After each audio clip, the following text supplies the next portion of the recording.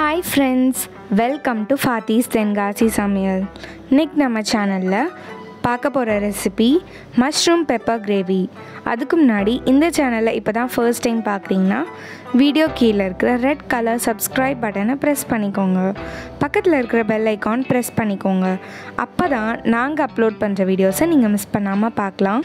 வாங்க ஃப்ரெண்ட்ஸ் வீடியோக்குள்ளே போகலாம் ஹலோ ஃப்ரெண்ட்ஸ் இன்றைக்கி மஷ்ரூம் பெப்பர் கிரேவி பண்ண போகிறோம் இது வந்து சப்பாத்தி நான் அப்புறம் வந்து தோசை கூட ரொம்ப நல்லாயிருக்கும் இது ரொம்பவே சிம்பிளாக பண்ணிடலாம் அதோட ஹெல்த்தியான டிஷ்ஷும் கூட. இது எப்படி பண்ணுறதுன்னு பார்க்கலாம். இது பண்ணுறதுக்கு ஃபஸ்ட்டு கொஞ்சம் மசாலா வறுத்துக்கலாம்.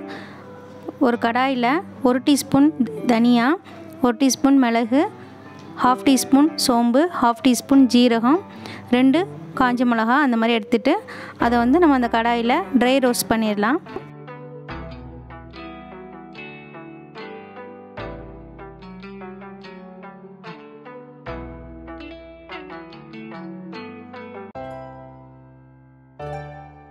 இதை வந்து நல்லா வாசனை வர்ற வரைக்கும் வறுக்கணும்.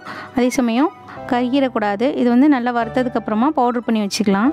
இப்போ அதே கடாயில் ஒரு மூணு டேபிள் ஸ்பூன் அளவு நல்லெண்ணெய் விட்டுக்கலாம். இந்த மாதிரி பண்ணுறதுக்கு நல்லெண்ணெய் சேர்த்தோன்னா ரொம்ப நல்லது. இதில் வந்து ஃபஸ்ட்டு ஒரு பெரிய வெங்காயம் நான் வந்து ஸ்கொயராக கட் பண்ணி வச்சுருக்கேன். அதோட பத்து சின்ன வெங்காயமும் வச்சுருக்கேன். சின்ன வெங்காயம் வந்து நம்ம வந்து அரைச்சி சேர்க்க போகிறோம் இப்போ வந்து ஃபஸ்ட்டு பெரிய வெங்காயத்தை மட்டும் சேர்த்துட்டு வதக்கிக்கலாம். பெரிய வெங்காயத்தை கொஞ்சம் நேரம் வதக்கிக்கணும்.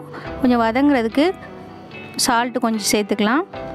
இப்போ இதோட அரைச்சி சின்ன வெங்காய பேஸ்ட்டையும் சேர்த்துடலாம்.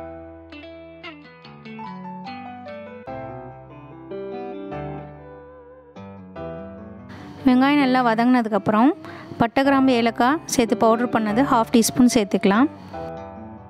பவுடர் நல்லா வதங்கினதுக்கப்புறமா ஒரு டேபிள் ஸ்பூன் இஞ்சி பூண்டு பேஸ்ட்டு சேர்த்துக்கலாம். இதுவும் வந்து பச்சை வாசனை போகிற வரைக்கும் வதக்கணும்.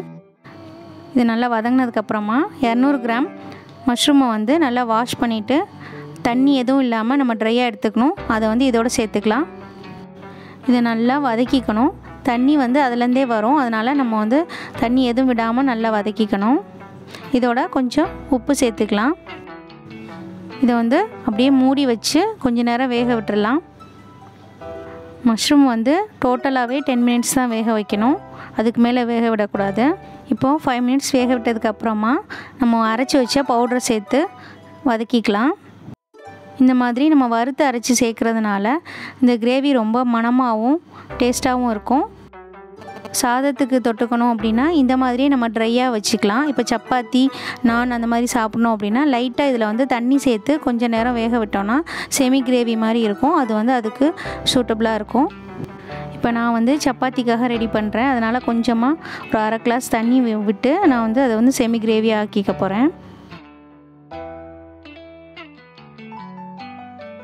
இதில் வந்து லாஸ்ட்டாக பெப்பர் வந்து நம்ம க்ரஷ் பண்ணி போட்டோன்னா நல்லாயிருக்கும் அவ்வளோதான் ரொம்ப ஈஸியான மஷ்ரூம் பெப்பர் கிரேவி ரெடி ஆயிடுச்சு. உங்களுக்கு இந்த ரெசிபி பிடிச்சிருந்துச்சுன்னா லைக் பண்ணுங்கள் உங்களுக்கு தெரிஞ்சவங்களுக்கு ஷேர் பண்ணுங்கள் உங்களோட ஃபீட்பேக்ஸை கமெண்ட் பண்ணுங்கள் மறக்காமல் சப்ஸ்கிரைப் பண்ணிவிட்டு பக்கத்தில் இருக்கிற பெல் ஐக்கான் ப்ரெஸ் பண்ணிக்கோங்க. Thank you